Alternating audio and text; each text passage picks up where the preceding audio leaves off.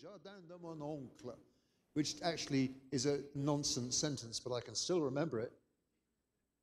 And, um, and- because I did really well at it, I am proud of myself. I did really well. I was 13. I had never studied a language before, but I did really well. And so we took an exam at the age of 14 and a half, and I passed very well. And so, with the sheer intelligence and wisdom of a 14 and a half year old, I said, Right, I've got the exam. And I gave it up. I stopped studying it, which is so stupid because obviously it could have been something that would have changed the path of my life. Anyway, that's what I did. And I stopped it completely. And then two years later or so, I went to France to work on the vendange, uh, the grape harvest. And the first week, I couldn't say anything. And the second week, I was fluent.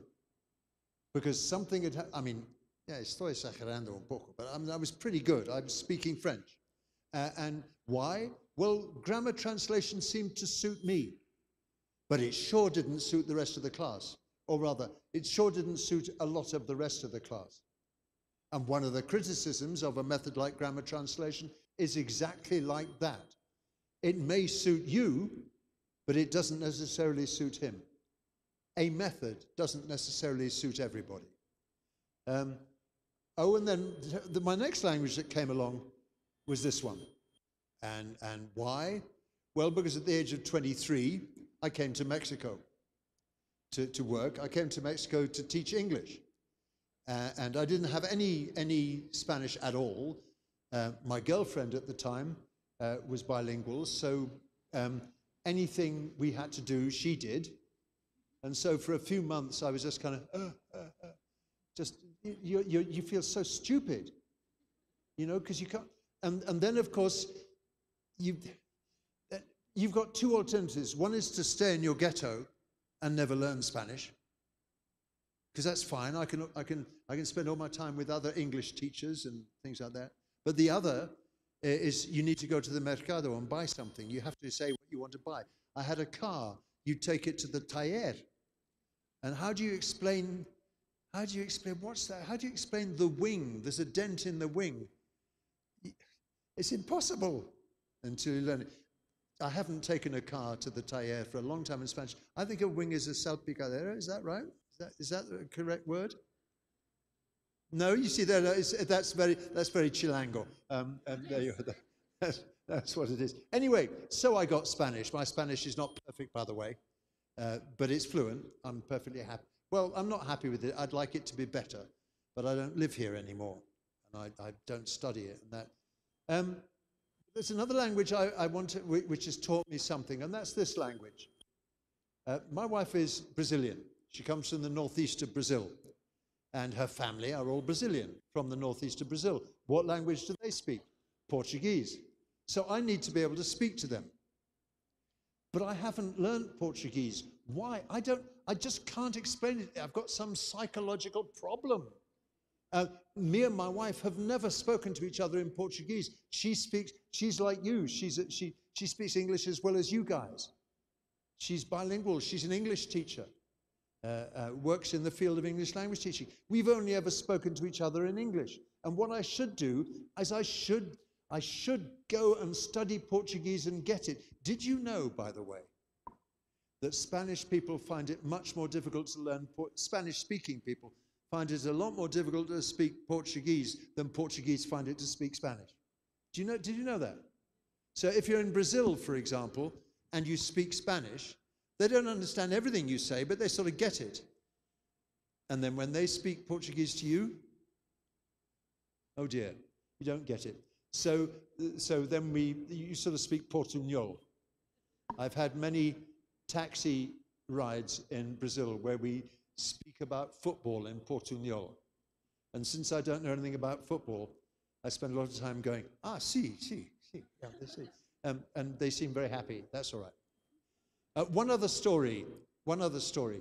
Uh, I want to tell you about uh, Tanya. Tanya's my daughter, my eldest daughter. And at the age of four and a half, she was bilingual, as far as I can see, completely bilingual. She was, all of her friends, all of her friends at the kinder in Guadalajara, they, were all, they all spoke Spanish. So Tanya spoke Spanish perfectly good Spanish. She was, you know, just, and her, her accent was entirely, it was just a classic Tapatio accent. And, and you know, she's just a, a little Mexican kid, um, sort of. And then we went back to England, when, and her younger sister, uh, I suppose, was bilingual, but she only had about four words, so, um, so it didn't count. And then we went back to England to live. And then we thought, my wife and I, my first wife and I, we thought, this is silly. Um, what we're going to do is from midday every day, we'll, we'll be in Spanish all the time. So we tried it. And my little daughter got furious. I mean, I've never seen her so angry. Why are you speaking like that? Stop speaking like that. So we'd say, oiga, pero tú hablas español. Todos tus amigos en el kinder, ¿no te acuerdas ese día cuando, cuando tú te encargaste de, de, de, ¿cómo se dice, raise la bandera and all this kind of thing? Stop that! Stop speaking like that! Stop it! Uh, and she aggressively, aggressively lost all her Spanish. I mean, it, she, she did it on purpose. Now, I, since then, I understand what was going on. Uh, all around her, nobody spoke Spanish.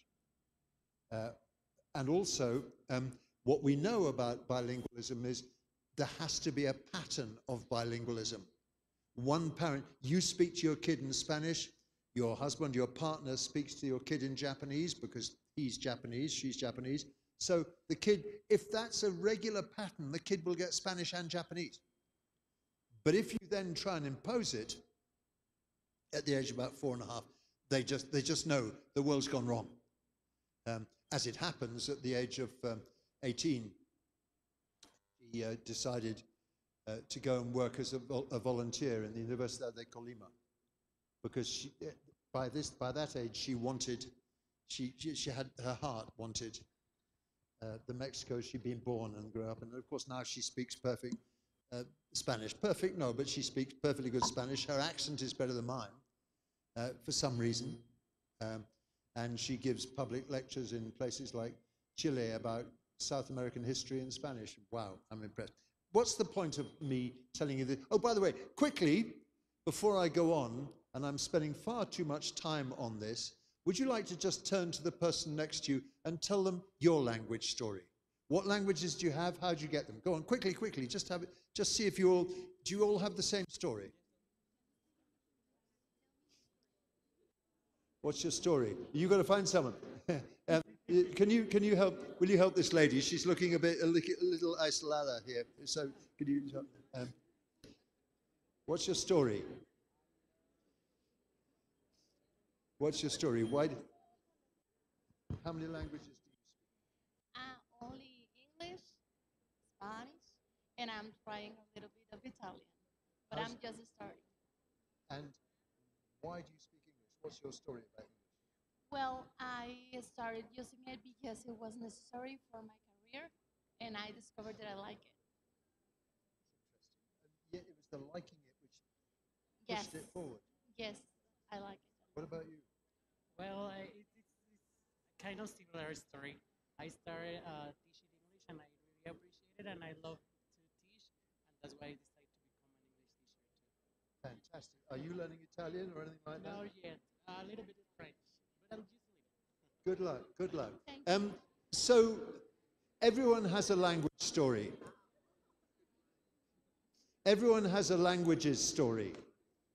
And it's really interesting with students sometimes, with our students, to get them to do what you just did. Maybe they all have the same story. Maybe they all say, well, of course I speak Spanish. And I, I, I, the reason I speak some English is because we did English at school and, and things. Someone just said to me there, and I discovered I, love, I liked it, so I wanted to learn more of it. Hooray, result. That's a good result. The point of all of this long, long introduction is to say language is wonderful fantastic, a bit enigmatic. I don't quite understand how it works, and none of us do. We sort of do, but we sort of don't. Everyone can do it, but not everybody does. But the real point is that the ones who can do it don't necessarily get there. They don't necessarily get there in the same way. We get there in different ways. And maybe your impulso, your motivación, what do you call it? Maybe you get the ganas uh, to do it for different reasons. So the question then is what conclusions do I draw from all this? Conclusion number one um, uh, wanting a language, needing a language, or being in the right place, they're real key components for learning. So I, I, I- feel ashamed because my Spanish is not as good as it should be. But, but of course, I speak Spanish because I needed it and I was in the right place at the right time. Everyone around me was speaking Spanish unless they were in English classes. So, you know, I can't take much credit for that. And if we can make students want it or need it or get them into the right place, even in just a classroom, we've won. Um, it seems to me all the stories I told you about kids who want to play computer games or kids who want to read about fashion or something like that. It's them who did it. They're the ones who had the idea in their heads. They had agency. They took the decision to learn a language. Now, if you're listening to this, if you're a science teacher maybe or something, um, they're really successful scientists So people who say, I like this and I'm going to take control of learning this. I want this. So that's, that's the first key. Second, uh, that, that- that's the second key about agency and social engagement. Number three, um, one of the reasons uh, um, that, that some of the people who've told me that they learn English uh, because they wanted to play computer games, for- for example, um, they had agency. They did it themselves and they learned how to process what they were learning. Uh, Jaime was telling me this morning about how he actually, on his own as a kid, translated from English into Spanish and back again with, with, with, with lyrics uh, and, and with computer game stuff. That's agency. That's wanting to do it himself, taking control. Uh, and, um, but of course, the one thing we have learned, and the reason I told you my story, which isn't terribly interesting, and it's certainly not unique, uh, and, and as I say, I don't take any credit from it, is because guess what? One size doesn't fit all. We don't get success in the same way. Different people get to it in different places. That was a terribly bad sentence. Different people get to different places on different routes. Is that better? I think that worked. Okay, how are we getting on? I think we're doing all right. I hope it's okay in the back there. You are you all right? Give us a give us a yes. Good. Um, so, you know, those guys they need a clap, don't they? I mean, interpreting. Give them a clap. They're fantastic. I uh, I, I just. I'm in, I'm in a listen. Uh, I was I, we were talking before. I had such a, a nice conversation with those guys, and I was telling them um, there was once uh, uh, an artist I know in England who speaks English, knows Spanish, and a Mexican artist came and they wanted to collaborate, and so they asked me if I could um, uh, help them out. It's bloody difficult. It's really difficult. I mean, I could I could explain what each of them wanted to say, but it was. It really hurts. Anyway, enough of that. Let's see if we can work out. I'm going to use some sort of teaching materials to see if we can try and match these four things in some way or other. So here we go. This is all about. Uh, um, I, I want my students to want something or need something, or I want to get them into the right place where they will just do it, and it's around them. So here's some. Here's some. I'm going to show you some pictures. Now, that's all. I'm going to show you some pictures. Here we go. First one.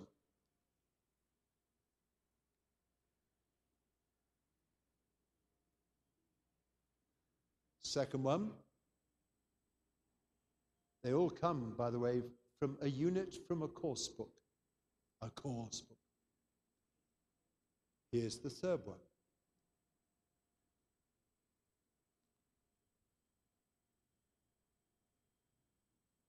Here's the fourth one.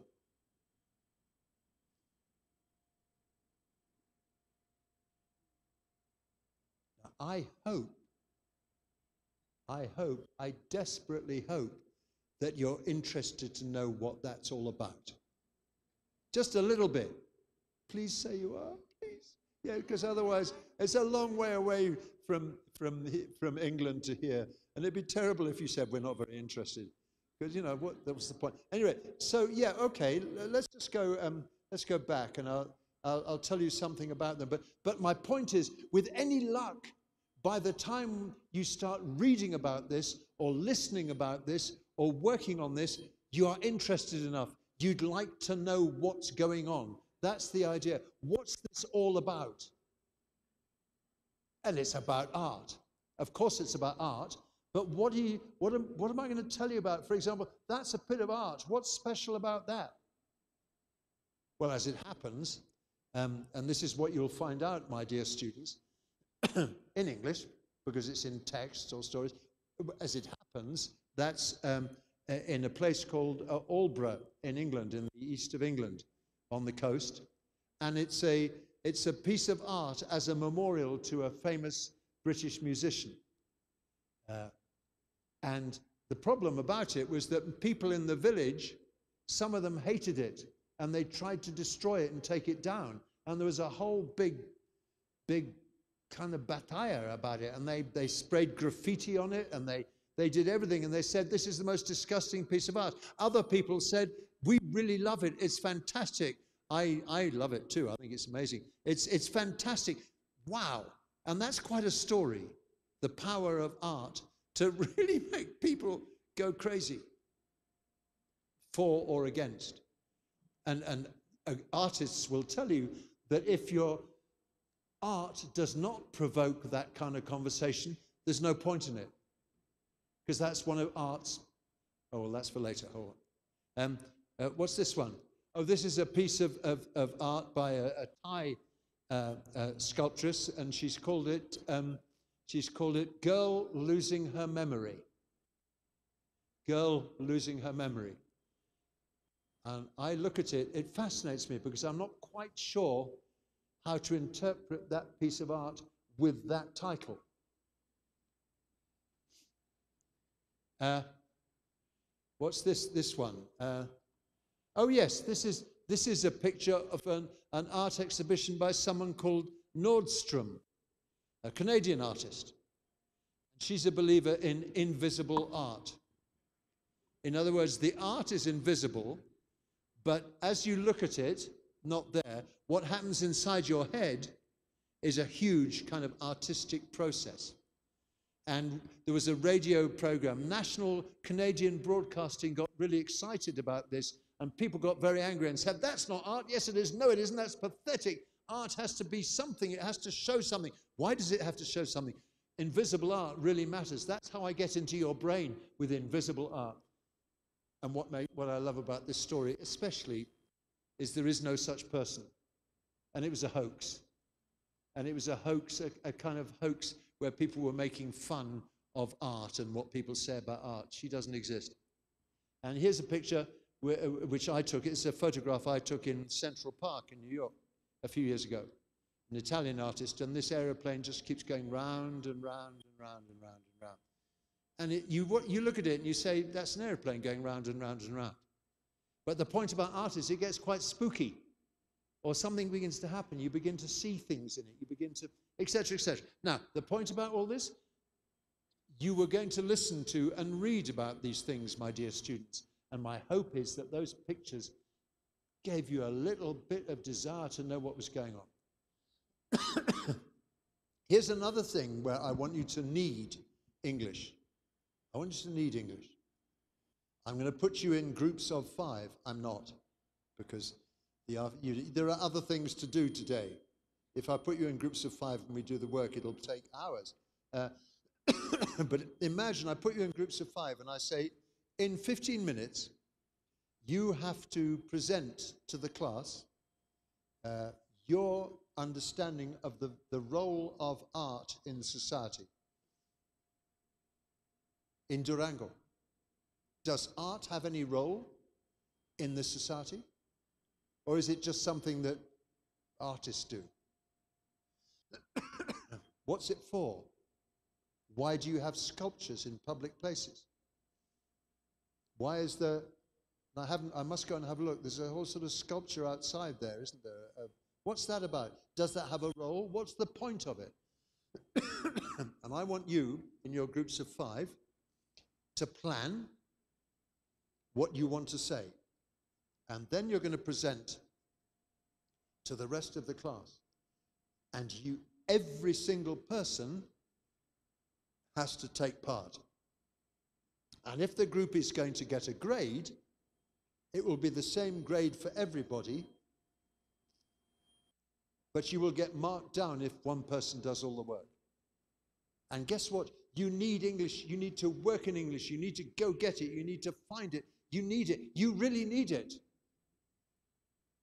And that's, I'm trying to replicate what happened to me in this country. Here's another one. Uh, my friend uh, Jane Revell, who's, who's a writer, talks about everybody up. She says pair work's fine, but actually it's much better when you get people talking in little groups, discussing. But actually, if you do that when you're all sit, sit, sitting down, it's kind of yeah. What you do is you get students up into groups in the middle of the classroom, standing and talking, and you find out if anyone has a poster in their room, what pictures they like. Some here's some things to talk about. Does anyone here draw? Do you ever draw pictures? You have you ever taken a, a photograph of a work of art, etc., etc.? And that conversation, in order to take part, you need English. You want English. You want to use it. And when you want to use it, then you're mine. I've got you. Because that's what I want. Uh, um, I, I, like that. Um, but also that has, a, that has one of the things that helps people learn languages, which helped me learn Spanish, más o menos. A veces menos que más, pero bueno. Um, but, but, but what helped me, I didn't do it in a book. I did it in social context with people, longing to get to a stage where we could chat about something in your life, you and me discussing in Spanish, because that, that's, and, and actually, when we did, you probably spoke Spanish to try and help me understand. And that was part of the process. Like mothers and, and babies talk to each other, it's a social process. It's not just baby hears language, speaks language. It's a social process. The whole business of the personal interaction between the baby and the mother or the father uh, uh, working together, and so on and so forth. Right, so there's that. Uh, eh, what about the social and personal? Oh, I'd love some. Oh, you are a superstar. Yeah. Well, you are anyway, but you're, uh, you wouldn't mind opening it, my hand. Um, the, the next, uh, I want to talk about um, the sort of this social and personal agency. Thank you very much. Uh,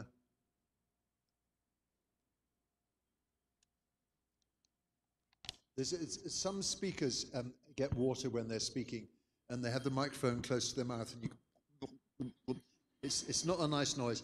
Okay, here's a, just very quickly to the person next to you. The person next to you, um, and you're going to have to turn around again because because otherwise you're going to have to talk to the chair. Um, and you same, she needs somebody. She's alone.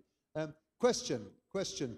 Uh, do you find it easy or difficult to learn languages? Why? Just talk to the person. Do you find it easy or difficult? Uh,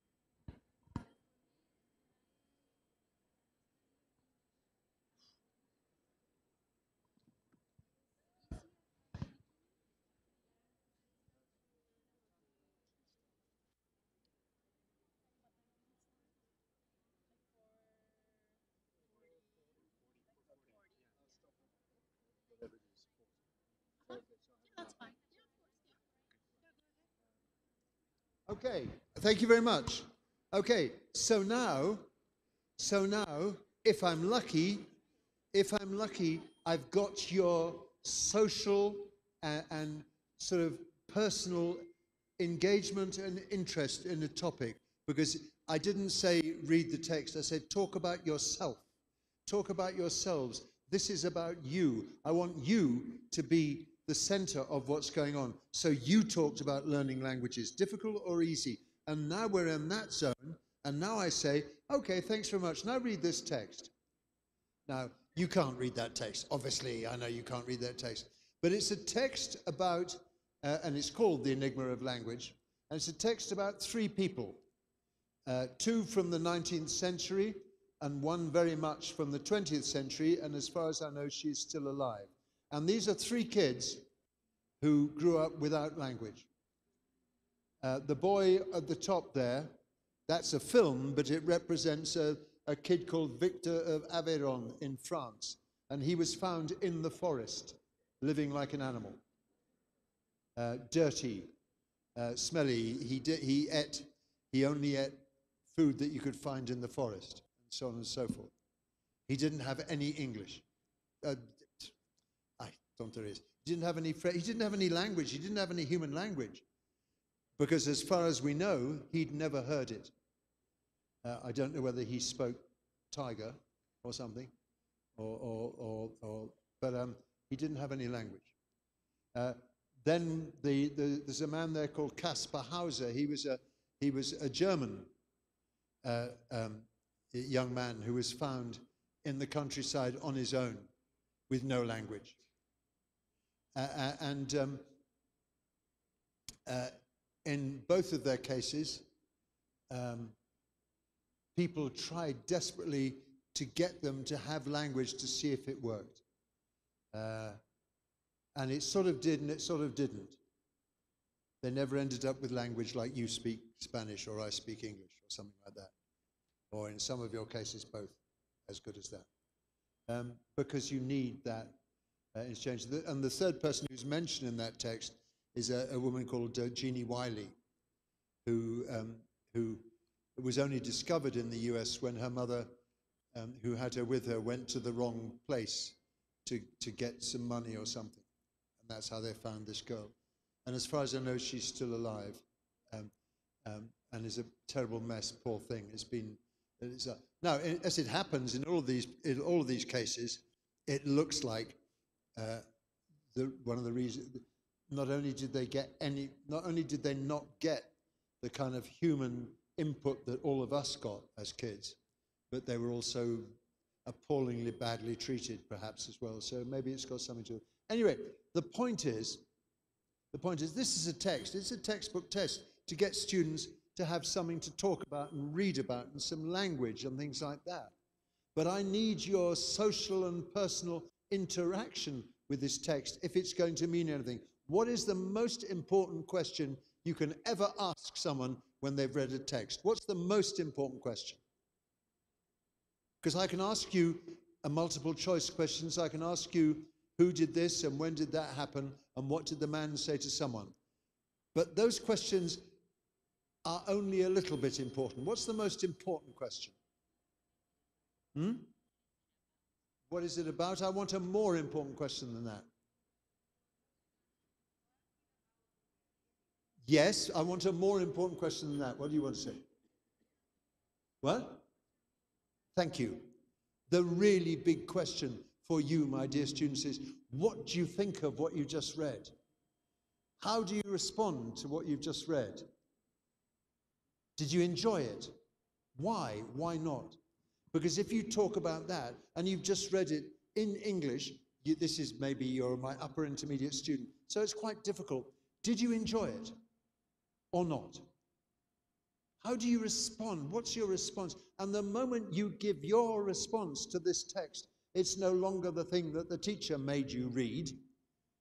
It's the thing that you personally interacted with. That's why I said at the beginning, before we start, how easy do you find it to learn languages? Why? Why not? Because it's about you. And now, your, your connection with this text, it's about you. I may do language work with it, but at the moment, it's about you. and what we know about language, uh, what we know about language learning is it has to be about you. You can't learn a language if you aren't there. I mean, in a metaphorical sense. You can't learn a language if you're not there. Yeah, but but you you need to be there socially, personally, and everything else like that. I can uh, I can um, I, uh, that's just a little demonstration. But one more thing I want to say, and we'll, we'll look at some examples. Uh, I'm not sure we'll have time to get through them all, but let's have a go. what we also know is that there are some people in the world who hear languages and learn them just like that. They just seem to suck up languages and it's perfect. And they don't ever seem to make any effort at all. It just happens. And I'm really jealous of them. But not very jealous because if all people were like that, we wouldn't have a job. Um, so maybe that's not such a bad thing. I didn't say that. Well, I did say that, but it was a, it was a flippant comment. I wasn't being terribly serious. Okay, okay, right. But what we do know is that people who actually make a bit of effort, who process the language they come across, probably learn better than people who don't process, except for the very few people who just, you know, for every good violinist, there was a Mozart who just appears to have gone, you know, but he's not a particularly good model for anybody because not everybody's like that. The most interesting question is what about the ones who are not like that? If you work at it, something you have to work at is probably learned better than something I give you for free. If you work at it. Um, interestingly, although I've got mixed feelings about exams, some exam classes have high motivation level because students really have to work at it if they want to get the, the TOEFL or the TOEIC or the, or the Cambridge exam or something like that. Here's some examples. I'm going to tell you a story. I'll do it as quick as I can. Um, uh, this is a, a, a photograph. Uh, what can you see in the photograph?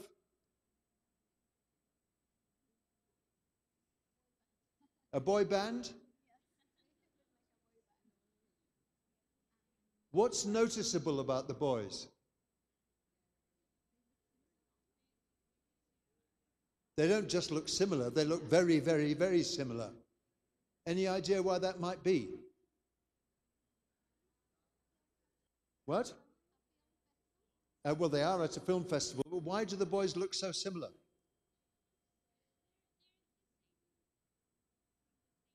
They're all brothers. Six brothers. They're all six brothers. And they're dressed the same. And most of them, but not all of them, have long hair down to their waists. Recently, one or two of them had their hair cut short. Hopefully, I've got you interested. Here's a way of making a social, personal engagement work. I've got a text which tells the story of these boys. They're real boys. Well, you can see they're real boys. But I, this isn't a fake, this is true. But I'm not going to give it to you like a text. I chopped it into paragraphs. And I separate the students. Okay, this is the first thing I do. All the students see this. It says, one morning, a 15 year old boy named Mukunda opens the door of the apartment where he lives in New York with his five brothers and one sister and walks out. He is one of the first, he is the first of his siblings to ever go outside. Mukunda, the name his father has chosen for him, means bringer of freedom. Mukunda goes down the stairs and out into the street. He walks into a bank and a grocery store. Store, story. He walks into a bank and a grocery store. He's wearing a scary mask from one of his favorite movies. Is there anything surprising in that paragraph? Are you surprised by any of that? The answer is just about everything. It's just weird. The mask, what's that all about? And what about he is the first of his siblings ever to leave and walk out? And he's 15 years old. ¿Qué está pasando? I mean, it's just, what the, what the, what, what the heck? What the heck? That's the word I was looking for. What the heck? Um, yes. So now what I do is I separate you into five groups. And each group gets a different paragraph. We're going to gallop through this, but your job in your group, imagine that you're in a group. Your job in your group is to read your paragraph, make sure you understand it. Here's one Group B. One day, a young documentary filmmaker, Crystal Moselle, was walking along First Avenue in New York City.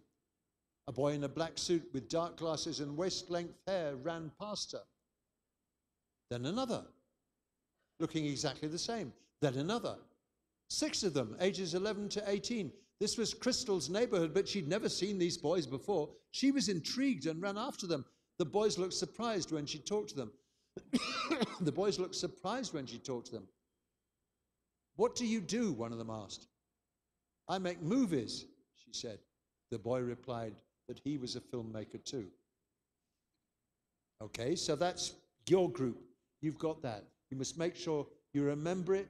You've got all the bits and pieces. You know the story. Group C gets this. Oscar Angulo met Suzanne when he was, she was backpacking through Peru in, in 1989. They fell in love and got married. Oscar was a member of the Hare Krishna religious sect. They had seven children, six boys and a girl. They gave them Sanskrit names Bhagavan, Govinda, and Narayana, twins, Mukunda, Krishna, and Jagadisa for the boys, and Vishnu for the girl. Probably because of what happened. Krishna now calls himself Glenn, and Jagadisa calls himself Eddie. Suzanne is now using her maiden name. So that's what Group C gets. You have to make sure you've got all that information. Again, it's a little bit strange. It's not, it doesn't quite make sense. It's weird. Group D gets this one. Oscar Angulo, Angulo described by some as work shy, believed the world was dangerous, a dangerous place that his children shouldn't have to experience. He kept them confined in their Lower East Side apartment in New York City. They hardly ever left their home. Amazingly, many of their neighbors didn't even know they existed, so quiet were they. The family's only money was from welfare checks and the money that Suzanne earned as a homeschool teacher. The boys experienced life through watching movies. They had at least 5,000 in the apartment. They would carefully reenact their favorite scenes. Their whole understanding of life was from the movies they saw and the thoughtful nurturing they received from their mother, herself also trapped by Oscar's paranoia. Group E gets another one. Police arrested Mukunda because he was scaring people with his mask. But they could get not a word out of him. He wouldn't speak to anyone because his father had taught him not to talk to strangers. He was put into an ambulance and taken to the Bellevue Psychiatric Hospital in Manhattan, where he stayed for a week. I loved it, he says now, years later. Was the first time I interacted with people. After his escape, Oscar's control over his family ended, and the boys started going out together to learn about the world. And the last paragraph Crystal became friends with the Angulo brothers. For five years, she filmed them and their mother, gradually learning the extraordinary truth of their upbringing and watching their transformation as they learned for the first time how to interact with the world instead of just with movies. And in 2015, her movie about the brothers, The Wolf Pack, won the documentary award at the Sundance Film Festival. Now, you're lucky because you got to read all the paragraphs one by one. But in your groups, you only read one paragraph. So you're still very confused about what the heck is going on. So what I do now is I get someone from group B, one student from group C, one student from group D, one student from group E, and one student from group F. I take away their paragraphs and I say to them, work it out. What's going on? And the only way they can work it out is by sharing what they've read and trying to make it into some kind of a narrative. Because as you could see, it's all in the wrong order. It's mixed up. And now the groups who, who make the whole story, they're actually, they're actually creating the story themselves with language that I've given them. This is not a beginner activity, obviously. It's not the point. They're creating, you can do this at beginner, but obviously it would be a very different, different kind. Um, they're creating the language with language they've had to learn because they needed it, and they're doing the processing when they talk to each other. They're using the brain power. It's their brain power. It's your brain power, not me. Yes, I'm the teacher, but I'm not working. You're working. You're working. processing yourselves. That's magic. It really works. You can't do it all the time. And do all students love it? Well, of course they do. Like most good ideas, it's easy to talk about in a teacher's conference, less easy to put into practice in reality. I know that. Okay, so here we are. Now, here's a way to get you to process it. Close your books, everyone. Now tell me the story from memory. I'm not asking you to, don't panic. That's a really important task. You have to process, you have to really work. And then I'll say, Well, she told the story. Do you agree with her? Did she leave anything out? Anybody? Did she leave anything out? Uh, and I get you to tell me what she left out. And then maybe I say, Right, now I want you to tell the story in half the time. And then in half the time again. And each time you do it, your brain is working furiously. I don't mean furiously angrily. I hope you're not angry. I mean, you're working a lot. Processing without effort. I'm not standing here drilling you. I'm not standing here giving you models and grammar. You're doing all the work yourselves. It's brilliant. I love it. I love it. What about this? okay. Are you interested in the story? Please say yes. Yes, good. Thank you. Um, so now go off onto the internet. What can you find out? Can you find out anything else about these kids, about this family? Go have a look. You're doing the work. It's your encuesta, it's not mine. I'm not saying this is, this is, this is. You're doing the work. It's you. This is you. You're the learner. I'm just the teacher. Cares?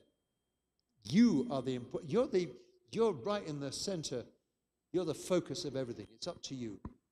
And to give you an example of what I mean, uh, um, this is the one that I love best.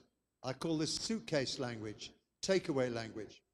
Um, in a minute, I'm going to show you one of those paragraphs, and your um, question is, which, what three words or phrases from this paragraph would you like to put in your suitcase and take away for you?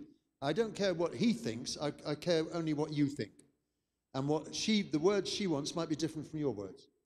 But the important thing is you. I want you to be that kid who was fascinated to play a computer game. So they learned the language they needed. These are your words. So, just as a quick example, quickly, and then we've got a couple more things to do. As a quick example, here's this one of these paragraphs. Can you read that?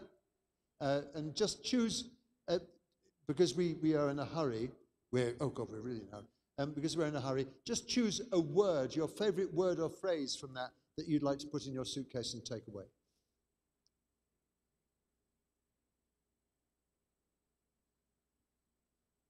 Okay? What have you chosen? Give me, give me the word or phrase you've chosen. Which word or phrase have you chosen? To take away. Nurturing. That's not a word I teach very often. But what a lovely word to say, that's her word. She's put it in her suitcase. She's taking it away. She's not going to forget it. She won't forget that word because it belongs to her, it doesn't belong to the teacher. Another word? What you, what's the word you've chosen? Paranoia. Paranoia. That's a very, I'm pronouncing it very British. But paranoia. Again, not a word I teach that often. But now it's your word, and you've got this word. I bet you you use it sometime soon, just to show I can. You know, it's your word. Yes. Teacher. Teacher. That's one of the best words in the world, isn't it? That's a teacher is a good word. Teacher is a good word. Another word. Any more words? What? Welfare. Welfare. Welfare. Welfare. Welfare check. Welfare check. You get the point. Now, what I will do in the next hour. Oh no, I don't have another hour, do I? In fact, I really need to stop right now. Um, um, I'm just going to rush through some examples in about a minute or two, just to make my point. Um, I want you to do the processing yourself. So there is that paragraph split into sentences, or some sentences from the paragraph, but I've chopped them up. And in order for you to make the sentences the story, you have to go A, B, C to make a complete sentence. the only way you can do that is by really, really concentrating, by really processing, using your brain. You've all got fantastic brains, my dear students. Use your brain. So, for example, amazingly, A, then go to B. Amazingly, many of their neighbors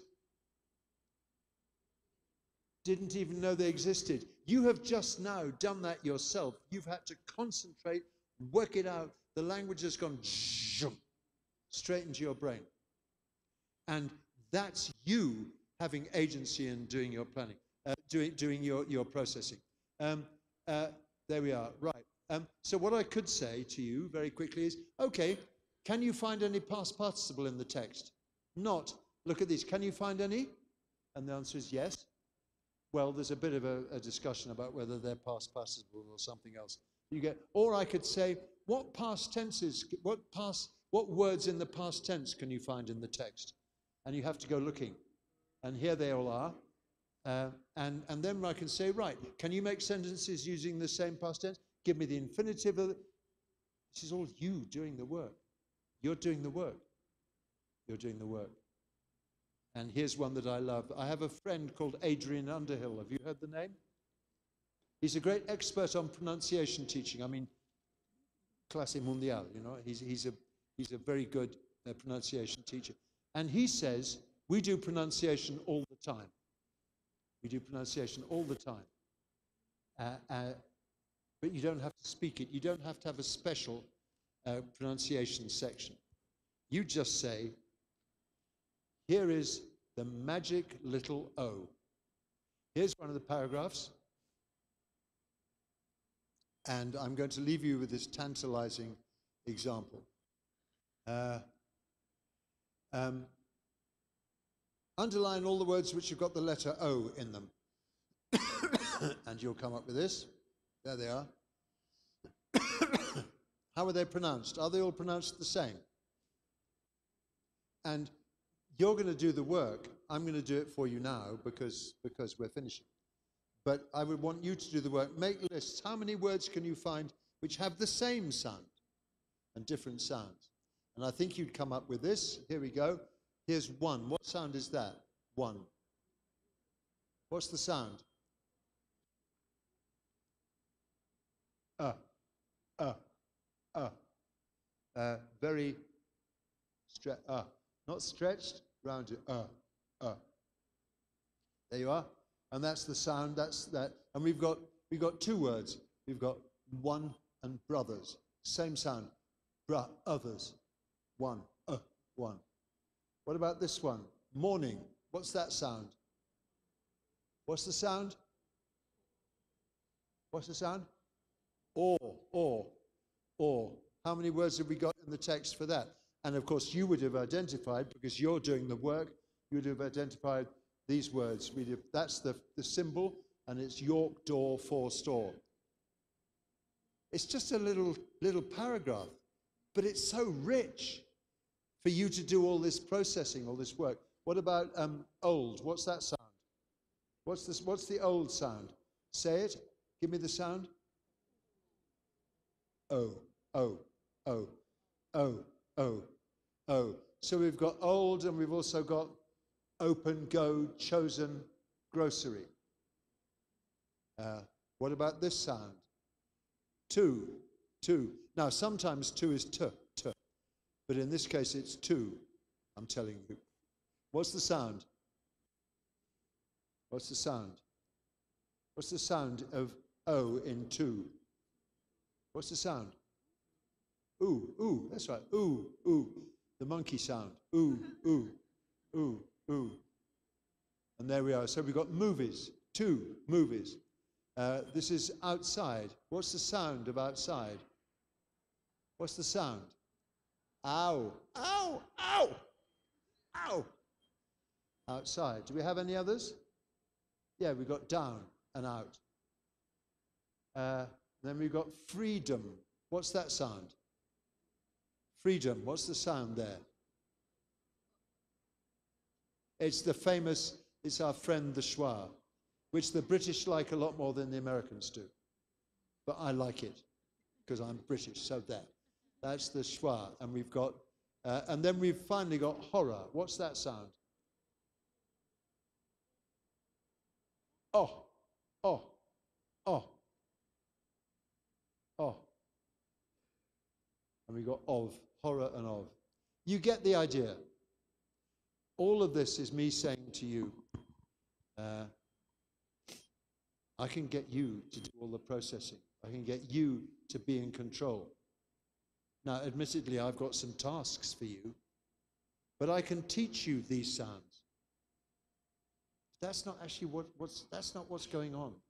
I'm making getting you to hear the sounds in your head, in your ear while you're reading.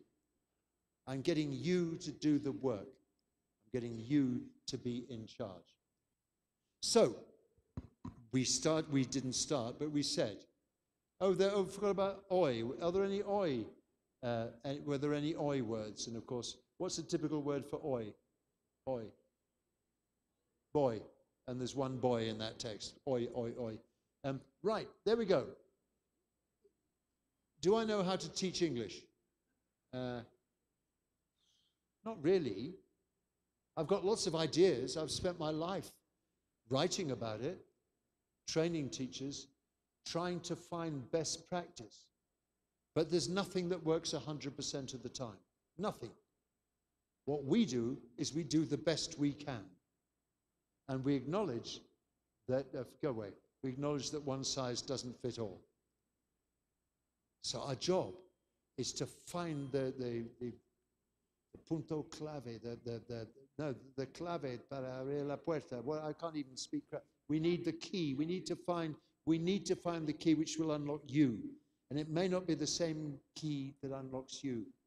So the one thing I know is I'm not always going to do it so it's for her. I've got to try and do some things which might be for her. And my job is to, if we think about agency, social and personal, processing, if we, if we think about the things, if we think about creating situations which make most of the students want to do, want to get the English I'm going to tell them about, we've got a chance. We've got a chance. Oh, by the way, I'm, I'm, I'm not a pessimist. Well, I am, but, but that's, that, I talked to my analyst about that. I don't have an analyst. I should have an analyst. Have you got an, anyone here got an analyst? Does it work? Yeah, some people love an- analysts. I don't have. Anyway, I, I'm a bit of a pessimist, but I'm not a pessimist about language teaching because what I see in this room, especially the more experienced people, is really successful teachers who are fantastic. And somehow they've found those claves to unlock students. And that's what we've been talking about. Listen, um, I'm, I am now in a state of complete happiness, uh, a complete ecstasy. Well, that's a, no, this doesn't look like it.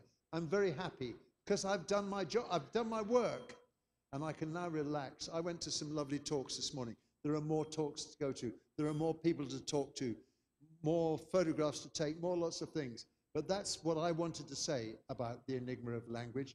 You've been very kind to listen to me.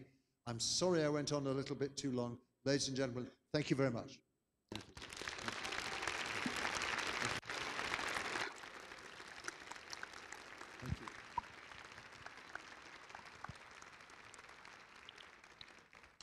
Thank you very much, Mr. Jeremy. Thank you for your talk, and you are really an inspiring teaching for all of us. Here is a small present for you. Oh. And you. there's another girl who has a present for you. Here she is. She also has a present for you. Oh, my word. Uh, hi, how are you? Nice to meet you. I'm happy now. I- I'm happy now too. so I want to give you a present. Um, sorry, I, I'm nervous. No estoy en las pantallas, ¿verdad? Ah, bueno. Este, ah, well, do you speak Spanish, right? Hago el intento. Okay. Well, I'm going to speak Spanish. So, uh, do you know the Dr. Simi? Okay. Do you know the Dr. Simi or not? Okay. No, no, no, no, no, no conozco, pero, pero vamos. Explícame. Okay, uh, here is a pharmacy that it's called Simi, Similares, and the pet it's a doctor, right? So uh, here is a tradition that we admire. We wait.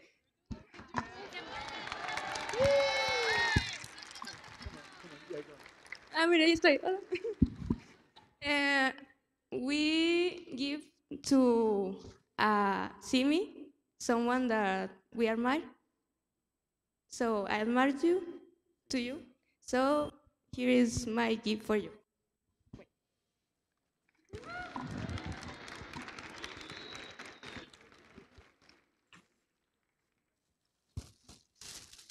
Look, at that.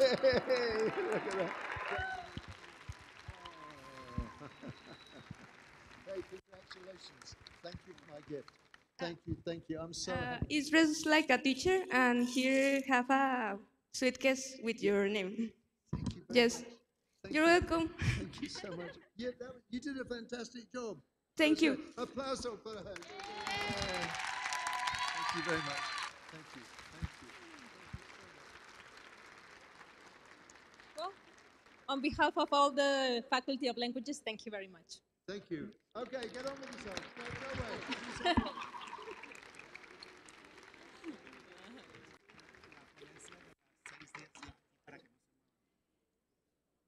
Eh, un pequeño